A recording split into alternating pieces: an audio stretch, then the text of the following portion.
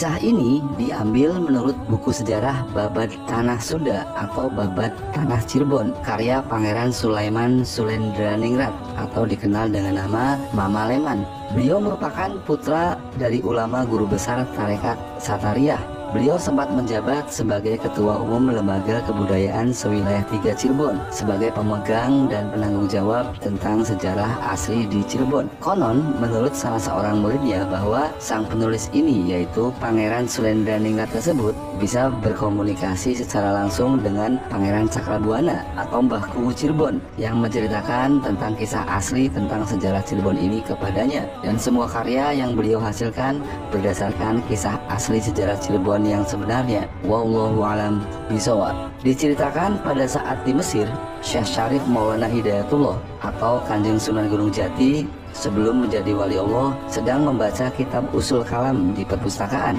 Di dalam kitab itu dijelaskan bahwa walaupun pada kenyataannya Rasulullah Shallallahu Alaihi Wasallam sudah wafat, tetapi Gusti Allah Maha Kuasa atas segala sesuatu. Maka dengan izin Allah bukan hal yang tidak mungkin jika ada orang yang bisa bertemu dengan Rasulullah sekalipun beliau telah tiada. Semua semata-mata karena kehendak Allah Subhanahu Wa Taala. Seperti pada saat Rasulullah masih hidup dan melakukan perjalanan Isra Miraj, maka baginda Rasulullah bisa bertemu dengan para nabi terdahulu yang sudah wafat. Penjelasan menurut kitab usul kalam tersebut membuat Kanjeng Sunan Gunung Jati merenung dan merasakan betapa rindunya beliau kepada leluhurnya yaitu Nabi Muhammad Rasulullah Shallallahu Alaihi Wasallam. Maka beliau sangat berkeinginan untuk bertemu dan berguru kepada Rasulullah Shallallahu Alaihi Wasallam. Syekh Syarif Maulana Hidayatullah yang merupakan keturunan Rasulullah yang ke-22 ini akhirnya keluar dari pejimatan atau dari perpustakaan dan menghadap ibundanya yaitu Kanjeng Ratu Rara Santang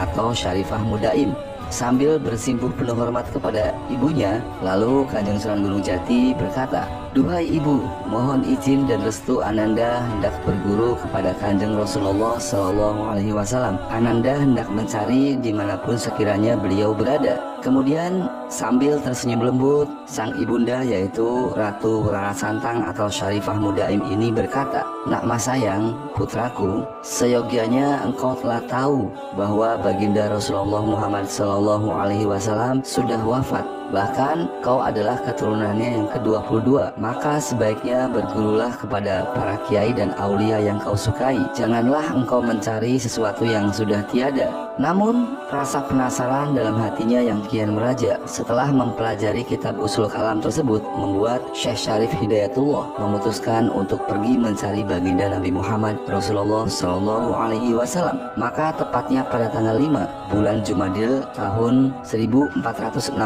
Masehi, beliau mohon pamit kepada ibundanya dan pergi mengembara guna mencari petunjuk dan keajaiban agar bisa bertemu dan berguru kepada baginda Nabi Muhammad Rasulullah Shallallahu Alaihi Wasallam. Sang ibunya yaitu Kanjeng Ratu Rara Santang atau Syarifah Mudaim merasa sangat sedih setelah ditinggal oleh putra kesayangannya. Ia membayangkan saat Masa kecil Syarif Hidayatullah yang begitu cerdas dan sangat berbakat dalam mempelajari berbagai macam ilmu, khususnya tentang ilmu agama Islam. Beliau sering melamun memikirkan anaknya yang tengah mengembara. Setiap saat ia berdoa kepada Gusti Allah Subhanahu wa taala agar senantiasa menjaga dan melindungi anaknya selama dalam perjalanan di mana pun ia berada. Sampai pada suatu malam, Kanjeng Ratu Rara Santang atau Salifah Mudaim bermimpi bertemu dengan suaminya yaitu Sultan Mesir yang pada saat itu sudah wafat. Sultan Mesir suaminya ini berkata, Wahai Adinda Syarifah Mudaim, janganlah engkau bermuram durja, ikhlaskanlah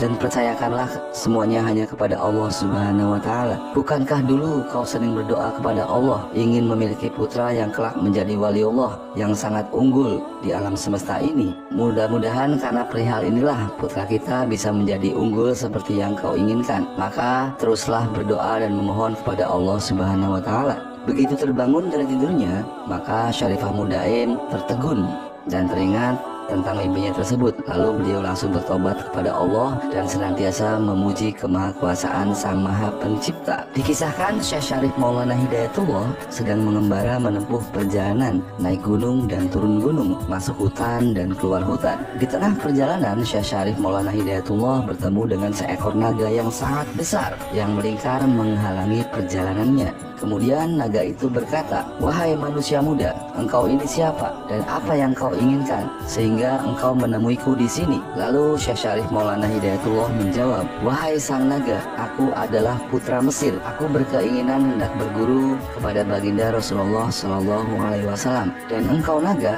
kenapa engkau tidak sama dengan ular yang lainnya? Engkau ini bisa berbicara bahasa manusia. Lalu sang naga itu berkata, saya bernama Yamlika. Saya ini berasal dari neraka. Sejak zaman Nabi Sulaiman alaihissalam, saya mulai tinggal di bumi. Jika engkau hendak bertemu dengan Rasulullah wasallam, maka kau jangan meneruskan perjalananmu ke Mekah atau Madinah. Tapi jika engkau bersungguh-sungguh, maka berjalanlah ke arah barat menuju Pulau Meceti. Di sanalah kau akan menemukan petunjuk. Dan ini saya hadiahkan untukmu cupu manik. Jika di Terawang akan mengetahui hal-hal yang gaib dan bisa berhasiat untuk pengobatan segala macam bentuk penyakit. Bahkan orang yang sudah wafat sekalipun bisa dihidupkan kembali. Kemudian cupu manik itu diterima oleh Syekh Syarif Maulana Hidayatullah dan mematuhi petunjuk naga yang bernama Yamlika ini. Kemudian Kemudian beliau pamit dan meneruskan perjalanannya ke arah barat.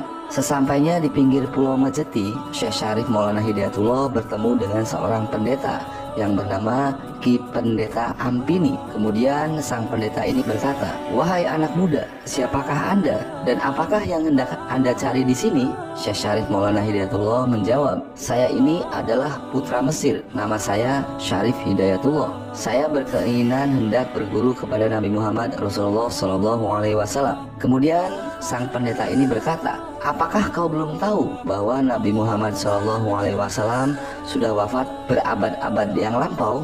Sebaiknya bagaimana jika kita berziarah ke makam Nabi Allah Sulaiman alaihissalam saja yang berada di pulau Meceti ini? Syekh Syarif Hidayatullah berpikir sejenak dan tidak ada salahnya jika berziarah ke makam Nabi Sulaiman alaihissalam yang merupakan salah satu urusan Allah pada zamannya. Maka beliau mengikuti saran pendeta Ampini ini dan berjalanlah mereka berdua mencari makbaroh Nabi Sulaiman alaihissalam. Tidak lama kemudian datanglah ular naga yang sangat besar menghalangi perjalanan mereka. Sang pendeta merasa ketakutan dan berkata, Hidayatullah, ada naga yang sangat besar. Daya upaya apa yang akan kau lakukan? Kemudian Syekh Syarif Maulana Hidayatullah mendekati naga tersebut dan berkata, Wahai sang naga, saya harap Anda minggir memberikan kami jalan. Saya adalah putra Mesir dan hendak berziarah ke makbaroh Nabi Allah Sulaiman alaihi salam. Sang naga ini ternyata bisa berbicara bahasa manusia dan menjawab, Wahai orang muda, saya izinkan kau melintasi jalan ini, tetapi saya meminta air susu yang sangat banyak. Nanti jika saya sudah meminumnya dan merasa kenyang, maka dari telinga saya akan keluar sesuatu seperti lawe atau kante. Maka ambillah itu karena bisa berguna untuk penolak bala dan keselamatan.